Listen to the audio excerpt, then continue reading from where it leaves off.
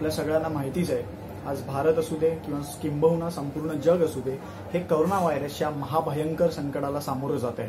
आणि यामध्ये भारतातील एकंदर सर्व राज्यांमध्ये महाराष्ट्र राज्य हे आघाडीवरती आहे करोना रुग्णां रुग्णबाधितांमध्ये.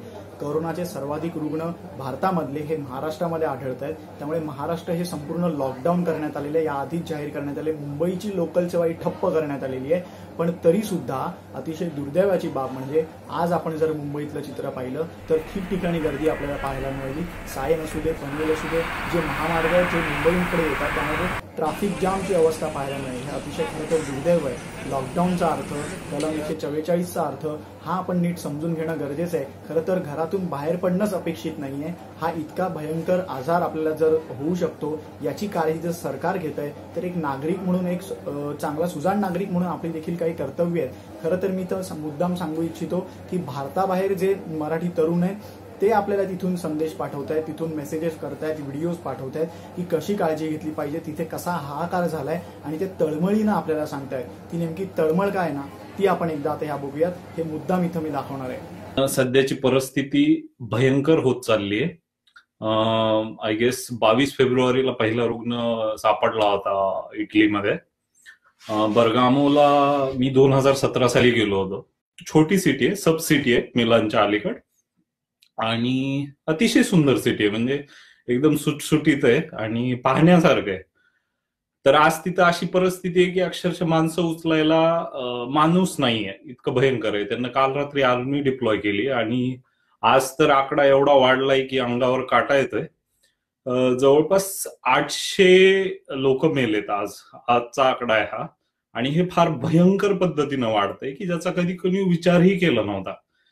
काल रात्री मी मला म्हणजे चार वाजेपर्यंत झोप नाही आली की यार म्हणजे आपण कोणत्या मार्गाने कोणत्या गोष्टी घडतायत आणि जे कधी आपण एक्सपेक्टच केलं नव्हतं अशी परिस्थिती येऊन ठेपली. माणूस कुणीही असला तरी शेवटी माणूस आहे. तो कोणत्याही देशाचा असला कोणत्याही कलरचा असला कोणत्या धर्माचा कोणत्या जातीचा जरी असला तरी शेवटी तो एक माणूसच आहे आणि शेवटी तो मरतो.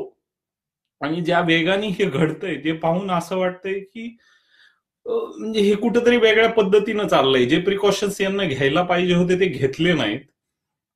आणि आज ही परिस्थिती ओढवलेली आहे. बावीस तारखेला जेव्हा पहिला रुग्ण तिथं सापडला ते अतिशय कॅज्युअल पद्धतीनं ढकलाढकली केल्या त्यांना. आणि एक एक एक एक दिवस ते शंभर दोनशे तीनशे हजार असं करत करत आज ते जवळपास पन्नास हजाराच्या आसपास पोहोचलेत. आणि पाच हजार डेथ झाल्यात इटलीमध्ये. आत्ता जर्मनीमध्ये प्रेझेंट मुवमेंटला बावीस हजार झाले जे की दोन मार्चला फक्त आणि फक्त सातशे होते. मागच्या पंधरा दिवसामध्ये वीस हजार रुग्ण वाढले आणि इथं जवळपास पंच्याऐंशी डेथ झालेले आहेत. सोळा स्टेट मधल्या तीन स्टेटमध्ये इमर्जन्सी लागू केलेली म्हणजे जवळपास युरोप मधले प्रमुख जे पाच स्टेट बॅकबोन आहेत युरोपियन युनियनचे जर्मनी फ्रान्स स्पेन आणि इटली हे जे सगळ्यात जास्त अफेक्टेड आहेत. पहिल्या क्रमांकाला इटली आहे त्यानंतर स्पेन त्यानंतर फ्रान्स त्यानंतर ब्रिटन ब्रिटन तर आता नाहीये युरोपियन युनियनमध्ये पण युरोपचाच भाग आहे. सो ब्रिटन आणि त्यानंतर जर्मनी. सो इतक्या वेगाने पसरते की आताची जी जगातली ह्यांची सगळ्यात बेस्ट मेडिकल फॅसिलिटी ओळखली जाते ती कोलमडण्याची दाट शक्यता आहे. कारण की जवळपास दहा हजार लोकसंख्येमाग जवळपास दोनशे ते तीनशेच्या आसपास व्हेंटिलेटर उपलब्ध आहेत. आणि त्याच्यामध्ये पण काही रिझर्व आहेत. जे ऑलरेडी पेशंट आहेत हॉस्पिटलमध्ये त्यांचं काढून नवीन याला द्यायचं की त्यांना द्यायचं? हा प्रश्न आज इटलीमध्ये चालू आहे. जर प्रगत देशाची ही अवस्था असू शकते तर आपल्या देशाची काय होईल हे न सांगितलं दीड महिन्यापूर्वी इटली खूप रिलॅक्स होतं. म्हणजे आम्हाला चायनामध्ये करोना व्हायरसची साथ आहे याच्या पलीकडे जास्त काही वाटलंच नव्हतं. एक महिन्यापूर्वी अक्षरशः वीस फेब्रुवारीच्या आसपास आम्हाला कळलं की लोंबार्डीमध्ये म्हणजे मिलानचा जो भाग आहे तिथे तीन केसेस आल्या. तर त्याच्यानंतर इमिजिएटली जेनोवामध्ये वगैरे सुद्धा किंवा बाकी देशामध्ये पण काही ठिकाणी त्यांनी शाळा कॉलेजेस युनिव्हर्सिटीज वगैरे बंद करून टाकल्या लगेचच. पण त्यानंतरही लोकांनी बाकी जास्त काही मनावर घेतलं नव्हतं. त्यामुळे पुढच्या दोन आठवड्यात ते इतकं सपाट्याने वाढलं. म्हणजे अक्षरशः कोणाला काही कळायच्या आताच तीन केसेसच्या सहा हजार नऊ हजार केसेस कधी झाल्या कोणाला कळलंच नाही. आणि मग एका दिवसात त्यांनी अ, देश लॉकडाऊन केला पुढच्या दहा दिवस म्हणजे ते त्याच्यानंतर दहा दिवसांच्या आत त्यांनी मग नंतर देशच लॉकडाऊन केला. मला वाटतं भारताच्या आत्ता परिस्थिती भरपूरच हातात आहे आणि तेव्हाच त्यांनी काळजी घेतली ना तर ती हाताबाहेर जाणारच नाही. म्हणजे इटलीच्या मध्ये इटलीच्या आरोग्य सेवा ह्या जगातल्या बेस्ट आरोग्य सेवांपैकी एक आहेत. आणि इटलीची लोकसंख्या ही खूप कमी आहे. एवढं सगळं असूनही इटलीमध्ये हो इटलीमध्ये करोना व्हायरसच्या साथीला त्यांना आळा घालताना नाकात नऊ आलेत अक्षरशः. भारतात जर ही साथ फैलावली तर वणवा हा एकच शब्द त्याच्यासाठी योग्य आहे. दुसरं म्हणजे इतक्या वेगाने ते पसरेल की आपल्याला कळायच्या आत सगळा देश हताश झालेला असेल. पण त्याच वेळेला आहे ना आपण घाबरून जायचं कारण नाहीये त्यात. जर आपण जे काही सांगितलं गेलंय ते जर पाळलं आपण तर घाबरण्याचं कारण नाही. आपण आपापल्या घरून जे काही नियम दिलेत ते पाळले तर. जर्मनी स्पेन इटली ह्या सगळ्या देशांमध्ये हा एपिडेमिक खूप जास्ती पसरलेला आहे. आणि म्हणून इकडे अजून उच्च पावलं घेत आहेत लोक ह्या एपिडेमिकला संपवण्यासाठी. पण मला हे सांगायचं आहे की ह्या एपिडेमिक माणसाविरुद्ध माणूस नाही आहे. हा एपिडेमिक जो आहे तो माणसाविरुद्ध निसर्ग आहे. आणि निसर्ग कुठलीच लढाई हारत नाही. म्हणून ही लढाई आपली जी आहे ती लढाई खूप वेगाने आपल्याला चालू ठेवायला लागणार आहे.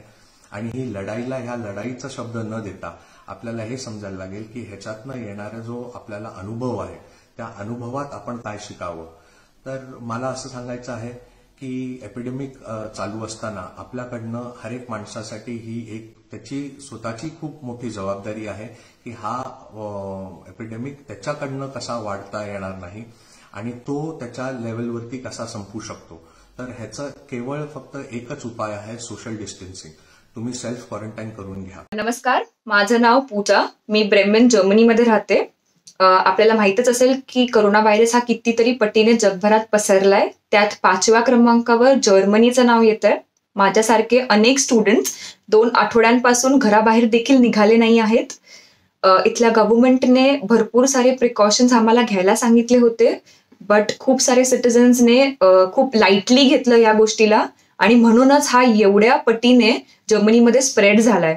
जर तुम्ही दोन आठवड्या आधीचा काउंट बघाल तर जर्मनीमध्ये अराउंड टू सिक्स्टी केसेस होत्या.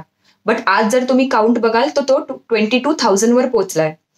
सो इट्स अ रिक्वेस्ट जी मिस्टेक जर्मनी किंवा इटलीने केली आहे ती प्लीज तुम्ही नका करू.